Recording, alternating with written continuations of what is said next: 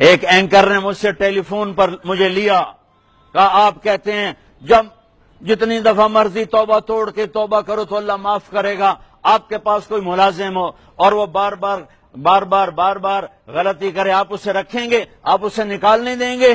मैंने कह रहा मेरे दोस्त, ये तूने क्या किया?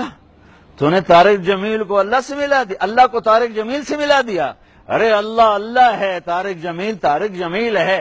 तारिक जमील तो बच, बेटे को भी निकाल देगा अगर वो तीसरी से चौथी दफ़ा नाफरमानी करेगा। नौकर तो नौकर है। मैं तो बेटे को मेरे बाप ने मुझे घर से निकाल दिया था। मैं किसी और की बात क्या करूँ? ये तो मौलवी बनना तो मेरे घर चो निकल जा। तेईस नवंबर उन्नीस सौ बहत्तर हफ़्ते का दिन था।